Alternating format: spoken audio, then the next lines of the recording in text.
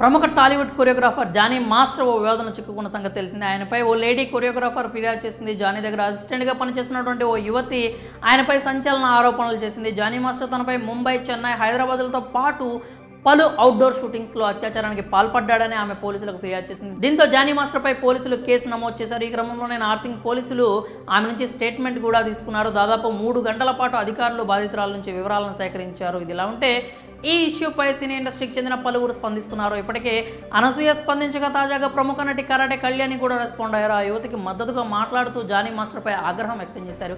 ఇక కరాటే కళ్యాణి మాట్లాడుతూ Johnny master తనపై వచ్చిన ఆరోపణలు అసత్యమని రుజువు చేసుకోవాల్సిన అవసరం ఉందని తెలిపింది. జానీ మాస్టర్ మాదిరిగానే ఆ యువతి కూడా మంచి కొరియోగ్రాఫర్ కావాలని ఇండస్ట్రీలోకి వచ్చిందని తెలిపింది. అయితే అలా వచ్చిన ఆ అమ్మాయిపై లైంగిక వేధింపులకు పాల్పడడం దారుణమంటూ కళ్యాణి అన్నారు. అంతేకాకుండా ఆ యువతితో సహజీవనం కాదని పెళ్ళి చేసుకుంటానని మతం మారాలంటూ జానీ మాస్టర్ చెప్పడం ఏంటని ఆమె ప్రశ్నించారు. ఇప్పటికే జానీ మాస్టర్పై ఆయన యూనియన్ సినీ ఇండస్ట్రీ పెద్దలు వేటు వేశారని తెలిపింది. అలాగే ఆయన సపోర్ట్గా ఉంటున్న ఓ పార్టీ కూడా రాజకీయ కార్యకలాపాలకు దూరంగా పెట్టిందని ఆమె గుర్తు చేసింది. ఆ యువతి ఎంతో నరక వేదన అనుభవించి ఉంటే ఈరోజు బయటకు వచ్చి ఉంటుంది అంటూ ఆగ్రహం వ్యక్తం చేసింది.